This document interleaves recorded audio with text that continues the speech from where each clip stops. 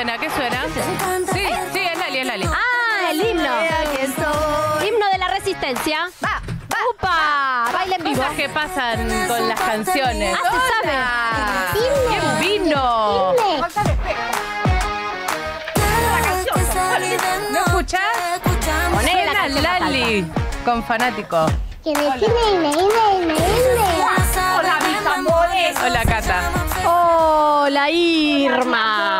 Espera que me quiero poner todo. Para mí.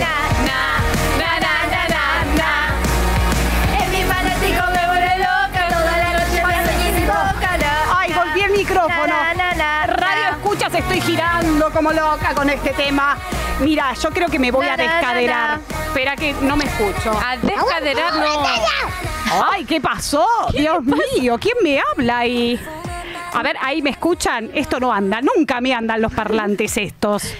No puede ser. No, ver no. ahí. Ahí. A ver, subí para el otro lado. A ver ahí. Ahí, ahí, Ahí, te me- tiene que ahí te estar. escucho, porque mi suegra Marta me dice beso. que no me escucha. Yo no sé, yo no sé si me escuchará o no me escuchará.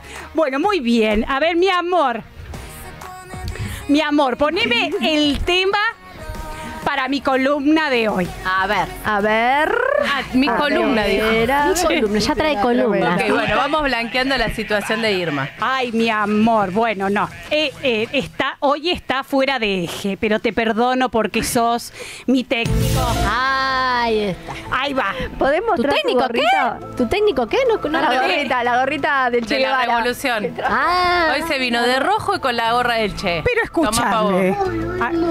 Ah, Hola, Irma. Irma, Irma. Hola, Irma. Hola, mis amores, mis radiovidentes. ¿Cómo andan? Mandale un beso a Catalina. Catalina, te mando varios besos, Catalina. Ahora yo me voy a quejar. Primero, antes, antes de hablar de los objetos voladores no identificados, mira, tengo que hacer todo muy rápido. Mira la hora que es. Pero metele, vos metele, vos, dale. ¿De quién dale. fue la culpa? Mierda carajo, como decía Mirta. Mierda carajo. ¿Quién habló tanto en este programa? Yo te voy a decir una cosa. Decime. Cuestión de la fake news. Sí.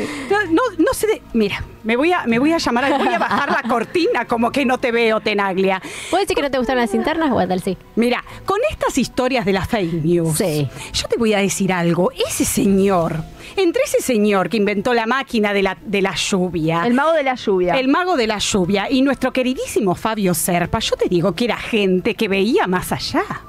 Porque acá hay algo que está sucediendo que creo que nadie lo percata, aunque me parece que sí, quizás el gobierno de los United States que se está quejando de que los chinos tienen una base acá en nuestro país. Oh. Los chinos, como decía Mafalda, son previsores de todo lo que hay que avanzar. Bueno, esa no me gusta tanto, no importa, son una porquería. Mira, si los tuviera acá les pegaría unos bifes. Pará, Irma, que vas a desatar un conflicto diplomático. Pero bueno, mira, con mucha diplomacia le pegaría así con el guante, con el olor que tienen estos guantes. Bueno, entonces lo que yo te No decía es que es que acá Acá uno habla de, de ovnis, de objetos voladores no identificados. Ah. Habla de cosas extrañas que pasan. Nosotros tenemos el unitorco, tenemos mucha gente en Entre Ríos. ¿El- el que ha qué? vi- ¿El unitorco o unitorco? Unitorco. Ah, unitorco. Para mí siempre fue el unitorco porque es único. Es único. Es único en Ahí el va. mundo, ¿me escuchaste? Porque hay energías que confluyen ahí.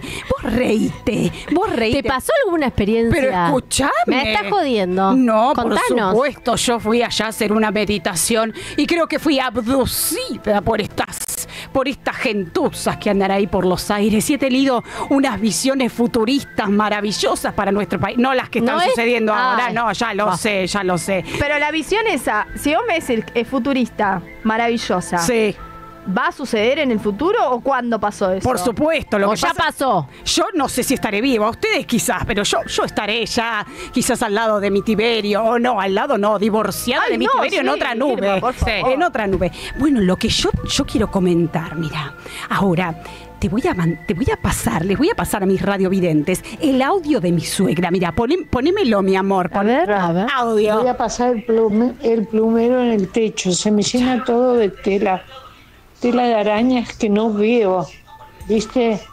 Pero cuando viene alguno de los chicos, le digo, ¿hay telas de araña? Sí, abuela, allá, allá, allá, yo no las veo. ahora voy a pasar el plumero para el techo, pero lo paso sin ver las telas.